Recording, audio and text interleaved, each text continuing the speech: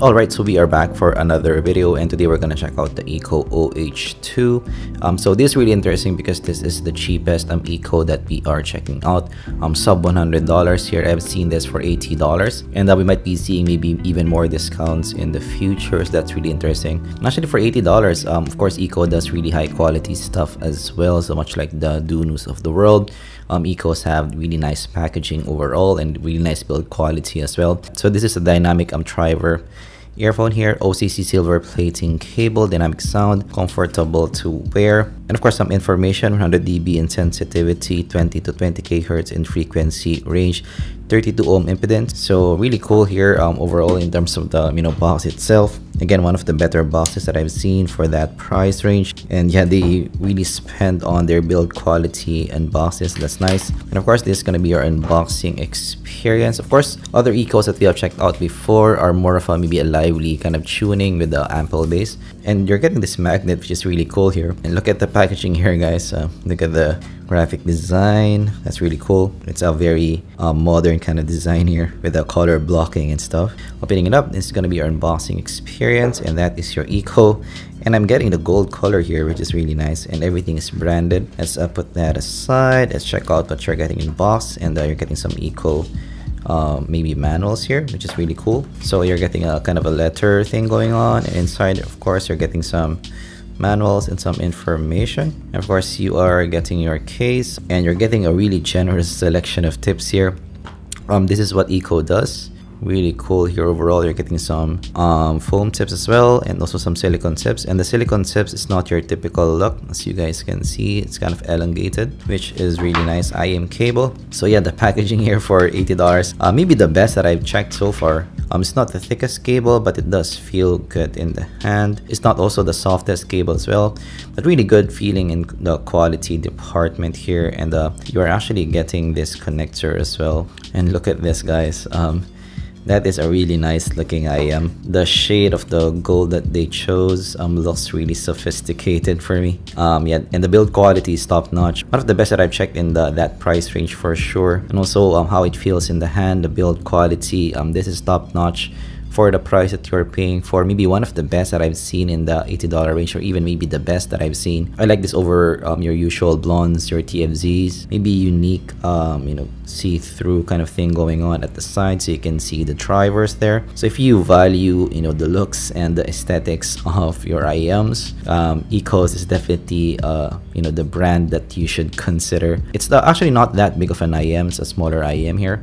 Maybe it reminds me of the SSR, SSPs of the world. Uh, but maybe the fit here will be a bit better because of that contours. Um it's the you know quite small IEM. So for smaller ears um this might be really nice for you. And um getting some holes as well. Ikko design and let's go um quite inside ear as well. We're gonna put some tips later. Yeah you're even getting a pin here which is really cool. So we are now wearing it on the ear and it's actually very light of an IEM quite comfortable to wear. Actually maybe one of the most comfortable that I've worn because of that smaller design and also very light as well. So um yeah comfort top notch here for me. In terms of the sealing I'm not that good for me average to below average um, because yeah it doesn't you know go inside the ear that much. Um so this might be really good for some casual listening here. And uh, going to um, stability I'm not the most um, stable. Still okay but uh, you know not the most stable as uh, compared to maybe your IEMs with fins um those will be more stable. But uh, yeah the comfort here for me is top notch. Um for for people with smaller ears um this will be really really nice for you.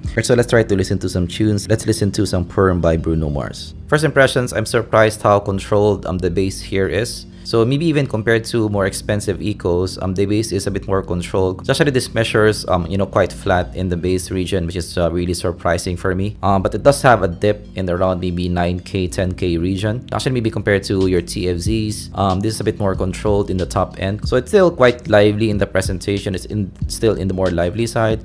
Uh, but maybe compared to your TFZs, Blons of the world, um, this is a bit more controlled. This is definitely a bit more bright compared to maybe your Moondrops of the world. This has a bit more top end for me. Um, this still has that double horns on top.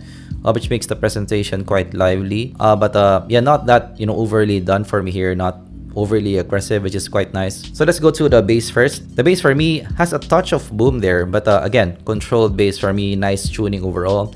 Just a touch of boom, um, just to provide just still a bit, a bit more fun.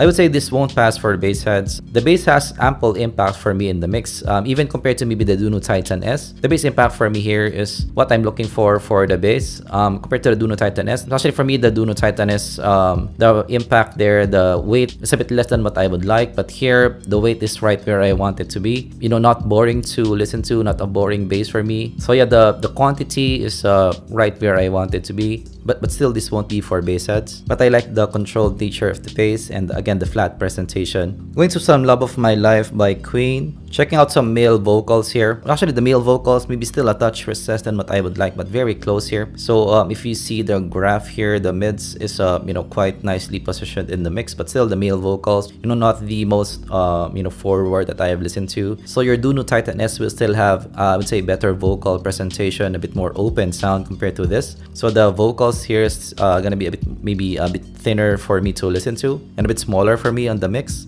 so still for vocals, I prefer the Dunu Titan S. But uh, again, the presentation here, um, I like that it's not shouty to listen to. Um, that's why I'm never gonna give you up by Rick Astley. So going to the vocals of Rick, again, um, you know, not the thickest that I've listened to. So um, this actually maybe in the middle for me. So this is not an overly thin vocal for me. Uh, but uh, yeah, this won't match up compared to your other maybe a bit more vocal-centric IEMs. Um, this is not a vocal-centric IEM for me. But yeah, the presentation for me, I like that it's not shouty to listen to. So compared to the Dunu Titan Titan S. Um, this is a bit more toned down, a bit less shouty, a bit less aggressive for me to listen to. So for a longer listening session, you won't have an issue with this. Actually, for female vocals, the positioning is really nice here.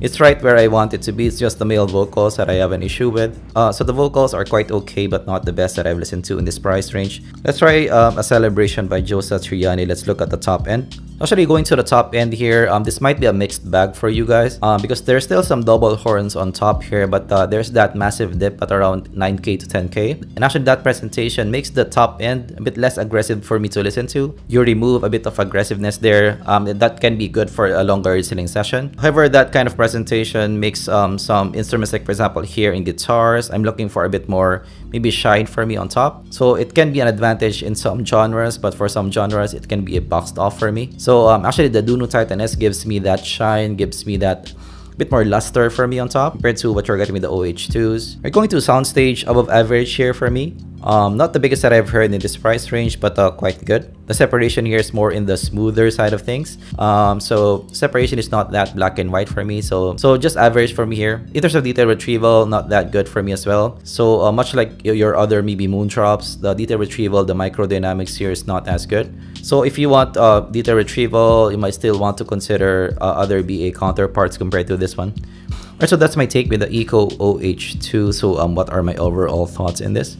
So I actually enjoyed my listen here. Uh, while it didn't, you know, beat out my other favorites, um, I do think for the $80 price range, um, this is well worth the price that you are paying for. You're getting a really good um, package here overall, maybe one of the best package um, in the $80 range that I've seen. Lots of tips, really nice build quality, really nice cable. And also the sound as well for an Ikko kind of sound. Um, it has that Ikko vibes, but with more control, flat bass, um, nice positioning for the female vocals. Male vocals nearly there and the top end as well. You know, not not that aggressive for me to listen to, a bit more relaxed compared to your other dynamic drivers. Um, so for listening for a long listening session, you won't have an issue with this. And I think that is the main um, selling point of this. Um, this is a bit more relaxed compared to your other moondrops or Dunus uh, of the world. If you're into that, um, this will be perfect for you. Um, however, for me, on the other side, I do still like my other maybe top contenders in the price range. Just the sound, I do prefer other IEMs compared to this one. But I do think, yeah, for the price that you're paying for, um, this is well worth the price that you are paying for. Alright, so that's my take with the Ikko OH2. So actually for Ikkos, uh, maybe one of their challenge is to be able to provide really nice, you know, packaging and uh, still keeping the price down because uh,